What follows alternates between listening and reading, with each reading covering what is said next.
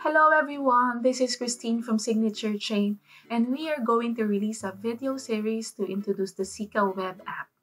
So to start off, we will be showing you how to connect your Waves account to the Sica web app using the Waves Keeper extension. So let's start by going to the web app address. And as you can see here, the web app will only work if you have the Waves Keeper extension installed. So depending on your browser, feel free to install using these links.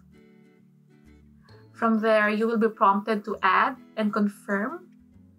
And now that you have the Waves Keeper extension, we can go back to the web app.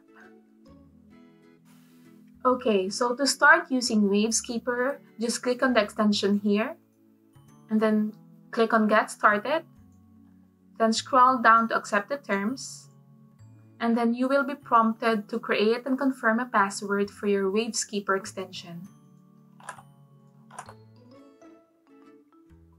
If you already have a Waves account, you can just import it or create a new one. The account creation process will take a couple of minutes, just simply follow all the steps carefully. Okay, if you haven't signed in to Waves Keeper yet, just click on sign in, enter your password, click on authorize, and you're done. To start sending and receiving Sica and start certifying files and documents, you will need Waves on your Waves account. This you can buy off any exchange that sells Waves.